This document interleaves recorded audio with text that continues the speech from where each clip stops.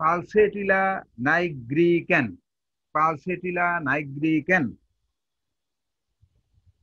Wind flower নামেও এটা পরিচিত। বাতাসে দোল খায়, বুঝছেন? এমন গাছ, এমন ফুল এমন ফুল ফোটে লতার মতো, লতায় জড়াইয়া যে বাতাসে যেদিকে যায় সেদিকে ডালি খায়। মানে এইটা আর একটা খাসলাত মানে গাছের খাসলাতের সাথে ঔষধের চারিত্রিক খাসলাত একেবারে মিলে গেছে। এটাকে উইন্ড ফ্লোয়ার বলা হয় যে বাতাসে যে দোল খায়, একদিক থেকে বাতাস আসলে আরেক দিকে চলে যায়। এইটারও হাসলাতে এরকম যে, একদিক থেকে আসলে আরেক দিকে, অর্থাৎ বেশি রাগলে সে কেঁদে দেয়। মন মানসিকতা খুব নরম, অল্পতেই একেবারে হেলে পড়ে। নরম প্রকৃতির, নমনীয় ভাব, এইটা। আঠারোশো পাঁচ সালে অ্যানিমেন এটা প্রুভিং করেন। এই ওষুধটা যেমন শীতকাতর ঔষধ নাক্স এইটা কিন্তু গরম কাতর। সোরা সাইকোটিকের প্রভাব বেশি থাকে, সোরা সাইকোটিক তো আছে, কিন্তু এটা সিভিলিটিক না। সাইকোটিকও খুব বেশি আছে, সাইকোটিকের আছে, কিন্তু শরীরও অত গভীর না।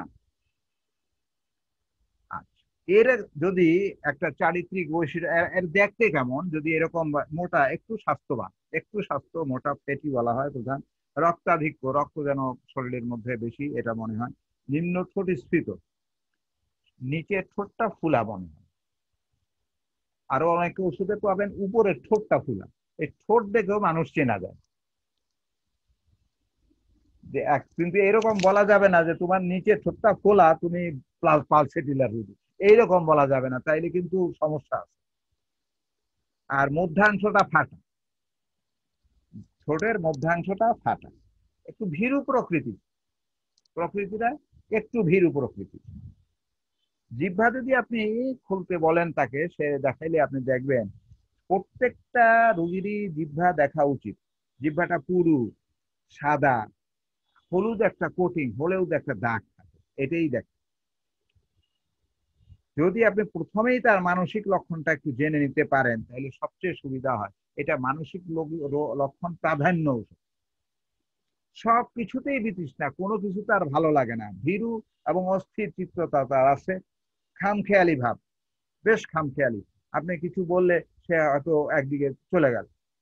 জিদও তার বেশি এবং কৃপণ স্বভাবের, সন্দেহযুক্ত, যেহেতু সাইকোটিক এবার আপনারা বুঝতে পারতেছেন সাইকোটিক থাকার কারণে এর ভিতরে সন্দেহ রোগ থাকতেই পারে, ব্যথা বেদনা থাকতে পারে মিন্সের সমস্যা থাকতে পারে স্রাব জাতীয় সমস্যা সাইকোটিক থাকার যতগুলা যা সমস্যা, মাংস বৃদ্ধি থাকতে পারে, অতিরিক্ত, এই, এইগুলা সব তার আছে। এবং খুঁতখুঁতে ভাব তার আছে, খুঁতখুঁতে ভাবও সাইকোটিক এটাও আছে। যদি তার, আমরা যদি দেখি যে এর কিছু লক্ষণের ব্যাপারে সার্বদহিক লক্ষণের যদি দৃষ্টিবর্তে দেখা যায়, তার তৃষ্ণা থাকে তৃষ্ণাটা কম। তৃষ্ণাটা খুবই কম। কিন্তু মুখটা শুষ্ক।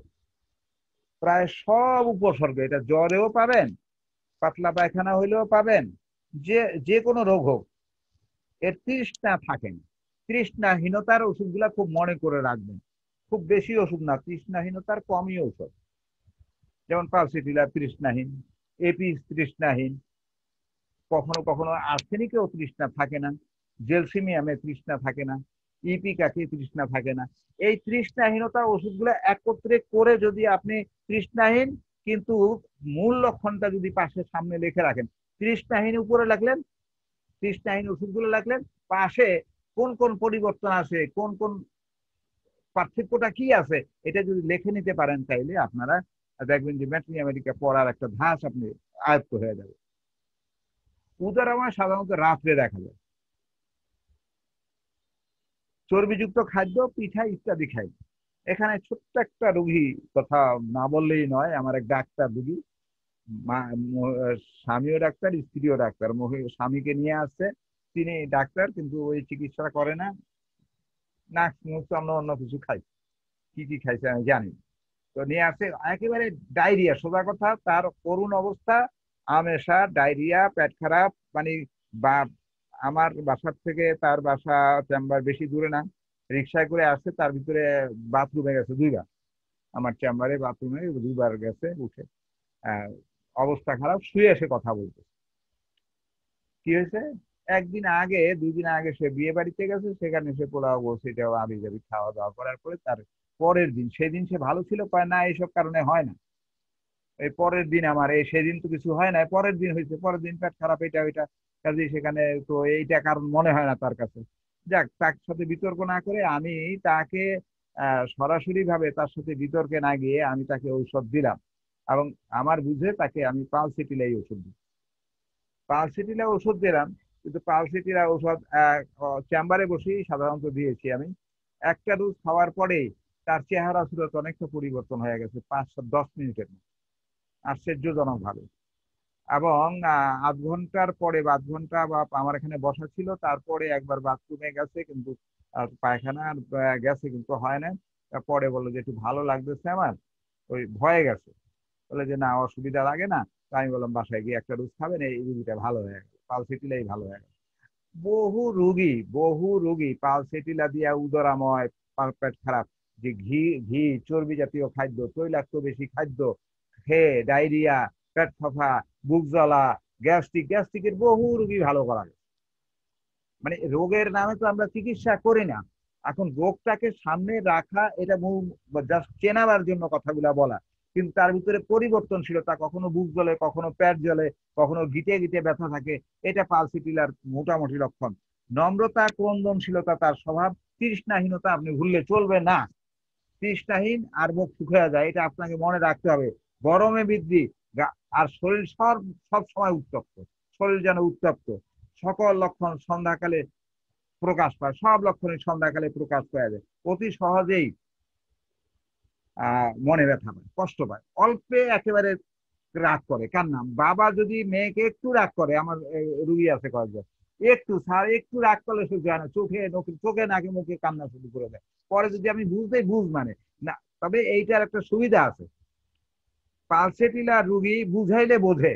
বুঝাইলে অল্প পরে মানে এই এই হাসি, এই কান্না কান্না করল, কতক্ষণ একটু পিঠে হাত দিল, একটু বুঝাই দিল, তোমাকে একটা চকলেট দেবো, একটা গাড়ি কিনে দেবো, বাস। কিছুক্ষণ পরে সে ঠান্ডা। এই পালসেটিলা রুগী আর জরায়ু রোগ সম্পর্কিত সাদা স্রাব স্রাব বন্ধ হওয়া এই পালস সাধারণত গর্ভ অবস্থায় না দেওয়ার জন্য বলা হয়। উচ্চ পাওয়ারে পালস যদি দেন মাদার টিংচার দেন, তাহলে গর্ভপাত হওয়ার সম্ভাবনা থাকে। অনেক সময় দেখা যায় প্রথম দিকে বমি বমি পাবেন আপনি। গর্ভ অবস্থায় প্রথম দিকে তার বমি বমি হয়, খারাপ লাগে, দুই তিন মাসের মধ্যে বমি বমি হয়, খারাপ লাগে এবং তৈলাক্ত হয়তো খাইছে তারপরে দেখা গেল যে আপনি এর কাছে আসলো। আপনি মনে করলেন পালস, এই মুহূর্তে পালস দেওয়ার ব্যাপারে আপনাকে দ্বিতীয়বার চিন্তা করতে হবে। খুব গভীর ভালো অধিকার না থাকলে ঠিক ঔষধের উপরে আপনি পালস দেবেন না। পালস না দিয়ে সাধারণত বমি বমি ভাবের জন্য যদি খাদ্যের গন্ধে বমি হয়, এসব আসে তখন কলচিকাম একটা ওষুধ আছে কলচিকামের দিকে যাই। কখনো নেট্রাম ফলসা লাগতে পারে। মানে এ মানে ঘুরে দিতে হবে।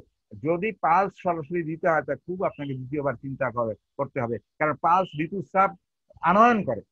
পালস স্রাবগুলো আনো বৃদ্ধি করে।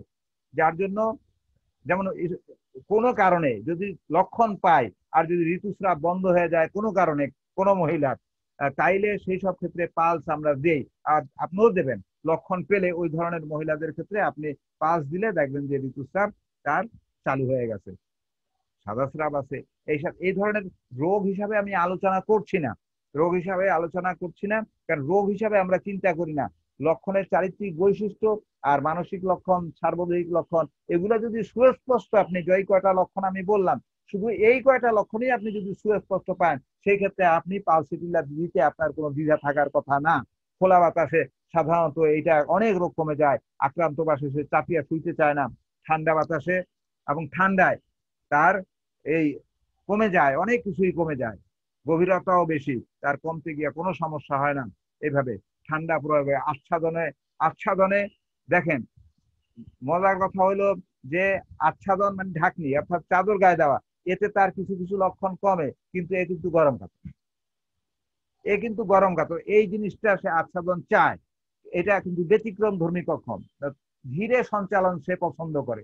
তার অনেক রোগ কমে আস্তে আস্তে ক্রমাগত সঞ্চালনে সে ভালো থাকে, ক্রমাগত সঞ্চালনে।